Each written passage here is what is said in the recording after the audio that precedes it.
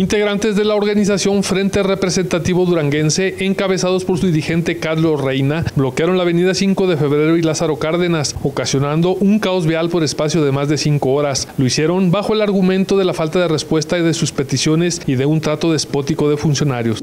Por ahí hemos eh, eh, tramitado a través de diferentes oficios en diferentes dependencias una serie de, de apoyos para la diferente gente de los diferentes poblados y colonias que nos acompañan el día de hoy, eh, pero no hemos obtenido respuesta. Y de las personas que hemos obtenido respuesta, pues ha sido una actitud déspota y prepotente. Entonces, más que nada, si a la organización a la cual su servidor representa no se les quieren entregar esos tipos de apoyo, bueno, pues aquí está la gente la que necesita esos apoyos, porque ya entregamos algunos, pero la gente...